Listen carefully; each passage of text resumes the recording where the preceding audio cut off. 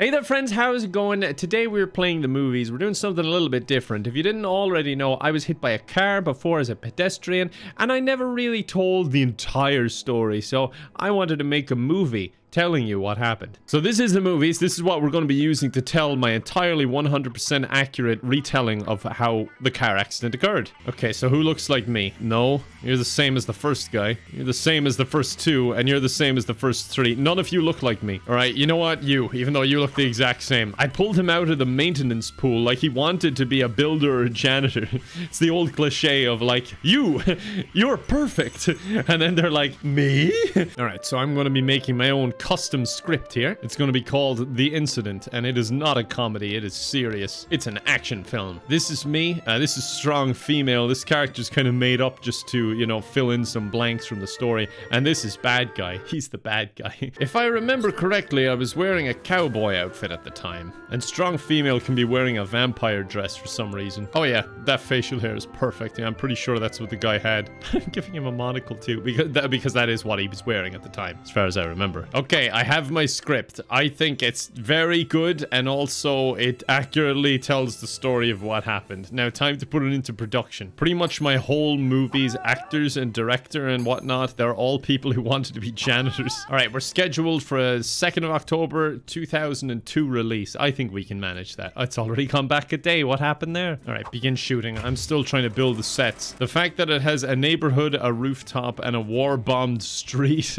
really adds a lot of mystery to the script. Oh, also, we need the Wild West Saloon, Suburban Living Room 1, Sci-Fi Starship Bridge 2, and Graveyard. And I think that's it. Okay, how have we already pushed it back, like, to January of the next year? What has happened? I don't know why there's this, like, intense horror music playing when we're just feckin' making the movie. What the hell is going on? Oh, I already have a cosmetic surgery place? Okay, great, because I want to look really cool and buff. You know, I want it to be as realistic as possible. All right, get some implants, whatever you want to really, just any implant. Okay, there we go. He got his implants.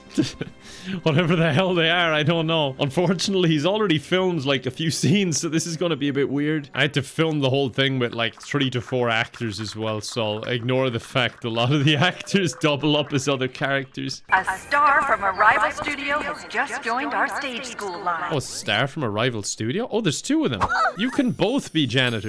I made all the janitors actors, so fortunately for you, we have space in the janitor department. I know what you're thinking, this seems like sabotage. And you're right, we're not called Dishonest Productions for nothing. Jesus, we've gone back another year. May as well get some more plastic surgery or something in the meantime. Get more implants. Bigger this time. From a rival studio. Jeez, the stars from rival studios keep coming. You can be a janitor too. He's really stressed out and miserable. He's trying to go and get drunk. No, you need to film now. I don't know why having constant surgery is upsetting him so much. It's for his own good. All these other actors are just throwing tantrums because they've been made into janitors. I mean, you could have just said no when I gave you the job. Oh no, he's going to get drunk. Stop it, dude. Come on, do your scenes. Okay, you know what? Watching that scene, I can kind of see why you're stressed. One of your stars has been unhappy and is threatening to quit. I'll save you the bother. There you go, you're fired. Have fun finding work. Oh, he's feeling better now. What's he doing? Oh, he's getting drunk. Okay, well, short-term solutions work for me. I just need you to finish the movie, and then you can go on with destroying your life. Oh, okay, good. It's just them threatening to quit. Here, you can go. I thought it was someone important threatening to quit for a second. A star from a rival studio Oh, cool. I want to actually hire you as an actor and just experiment on you. Here, have some implants. I'm just to give you loads of surgeries and see what happens. Oh no, now the director is drunk too. Why does everyone who work on my movies resort to alcohol? Oh, stop it. Come on. Just work, please. Oh god, talk to him so he'll stop drinking too. Oh no, they stopped for a second and now they're both just going to get drunk. Oh, Adam is threatening to quit. Quick, give him more surgery. Look at him. He's just all bandaged up. His image is awful. The surgery's not working. At least he's happy though, even though actually he's not happy at all. He's very upset with his image and he's throwing a tantrum now. Well, you know what? You just don't appreciate everything I've done for you, which is kind of understandable as it destroyed your career. Okay, we're closing in on the last few scenes. We're only, what, 11 years overdue. I kind of gave up just trying to control their addictions, so I just kind of let them do what they want to do. As a result, the main character and the director are bloody miserable. The main actor can hardly walk. Uh,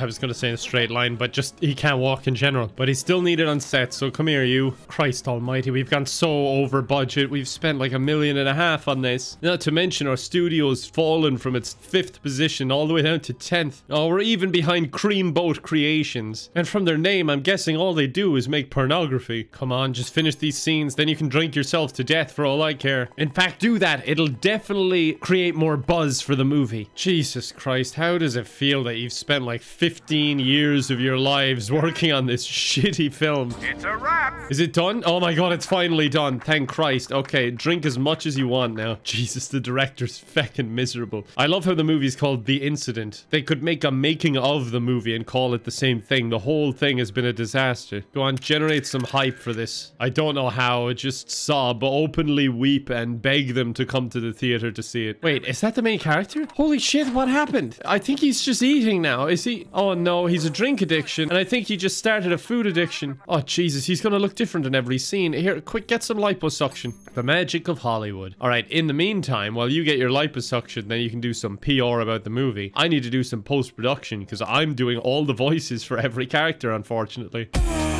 All right, the movie is fully produced and it's ready to go. I can't wait to see what critics say. I'm going to give it the biggest release budget because I feel like it's going to be a big one. It was like 20 years in the making. Two stars. Okay, something has gone wrong here. What are the critics saying? Consistently average direction throughout? The sets used in this movie were in pretty good condition. You know, I never cared what the critics said. I never expressed that. Okay, something has gone wrong here. What are the critics saying? Oh, Jesus. I exported it like with game sound so that, oh, feck's sake, I released the movie now, and it's called The Incident with Game Sound 2. That's gonna hurt the box office. Okay, the revenue, it, it, oh, Jesus, it absolutely flopped, and it ruined so many lives along the way. But you know what? I bet you'll enjoy it. So without further ado, here is The Incident, the real-life telling of my car accident.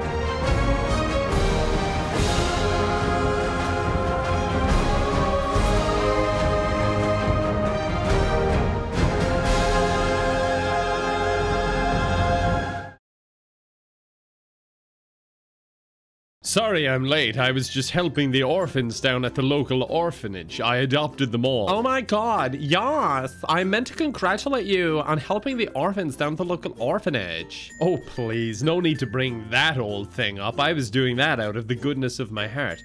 Although that does remind me, I need to donate my entire paycheck to various charities across the country.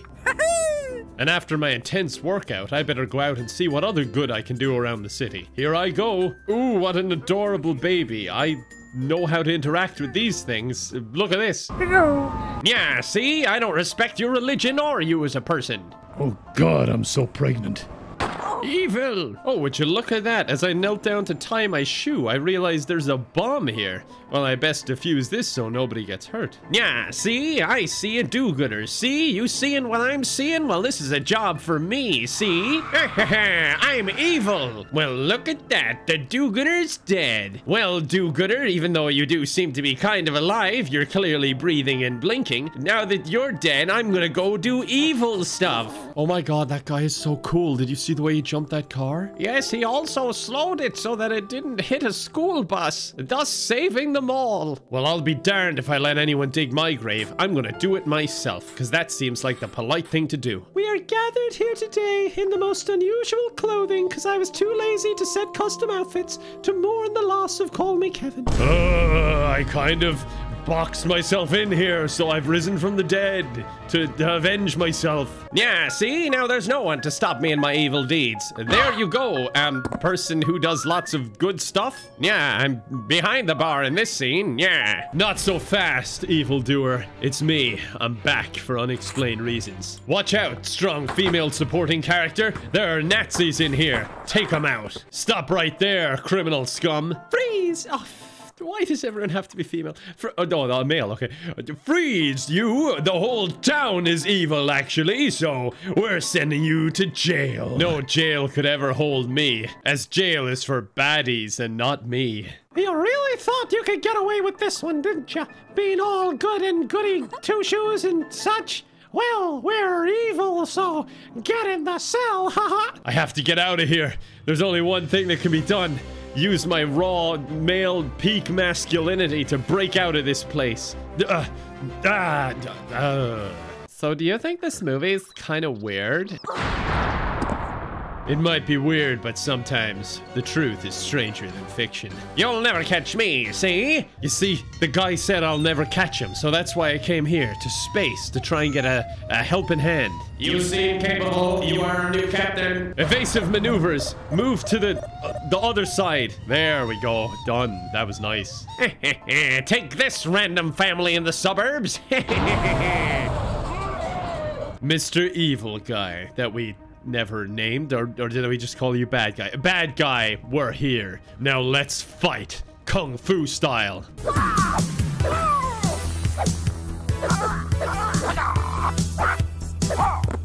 Oh my god. Bad guy. I'm sorry, I was so focused on being a good guy that I didn't focus on being the bigger man. Are you gonna be okay? I have a confession.